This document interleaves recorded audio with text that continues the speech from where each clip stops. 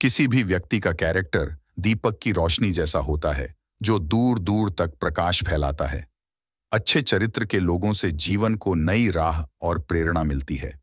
हिंदू धर्म में एक ग्रंथ है, मनुस्मृति, जिसमें महिलाओं के लिए कुछ नियम निर्धारित किए गए हैं, जिससे उनकी पवित्रता बनी रहे और वो समाज में आदर प्राप्त कर सकें।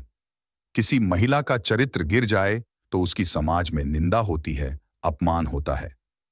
चरित्रहीन महिला पशुओं तथा नारकीय जीवों से भी नीची होती है, क्योंकि पशु और नारकीय जीव तो पहले किए हुए पाप कर्मों का फल भोगकर मनुष्यता की तरफ़ आ रहे हैं, पर चरित्रहीन महिला पापों में लगकर पशुता तथा नरकों की तरफ़ जा रही होती है।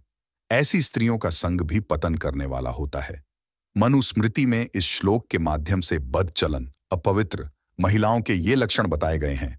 पाणम दुर्जन संसर्ग पत्या च विरहोटनम स्वप्नोन्य गेहे व सश्च नारीणाम दूषणानिषट अर्थात मदिरापान करने वाली दुष्ट पुरुषों का संग करने वाली पति के साथ न रहने वाली बिना किसी काम के इधर उधर विचरण करने वाली असमय एवं देर तक सोने वाली अपना घर छोड़ दूसरे के घर में रहने वाली शर्म और लज्जा नारी के आभूषण हैं। जब कोई महिला इनका त्याग कर देती है तो उसे अपयश का सामना करना पड़ता है। मदिरापान करने वाली महिलाएँ परिवार और समाज में अपनी इज़्ज़त खो देती हैं। दुष्ट पुरुषों का संग करने वाली महिलाओं का पतन बहुत जल्दी हो जाता है। उनकी वजह से परिवार की अन्य महिलाओं को भी समाज में बुरी नज़रों से देखा जाता है। पति के साथ न रहने वाली महिलाओं और उनके बच्चों का भविष्य अंधकार में डूब सकता है। विवाह उपरांत पति के साथ रहने पर ही महिला को समाज में उचित मान सम्मान प्राप्त होता है।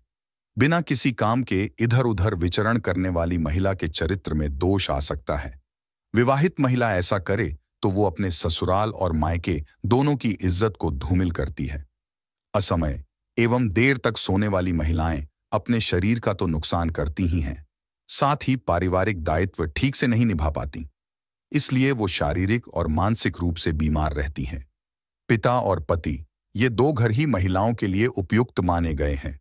अपना घर छोड़ दूसरे के घर में रहने वाली महिला के चरित्र में दोष आ सकता है। किसी दूसरे के घर में जितने भी ऐशो आराम हों, लेकिन जो सुख और अपनापन पिता और पति के घर में प्राप्त हो सकता है, वह कहीं और नहीं मिलेगा।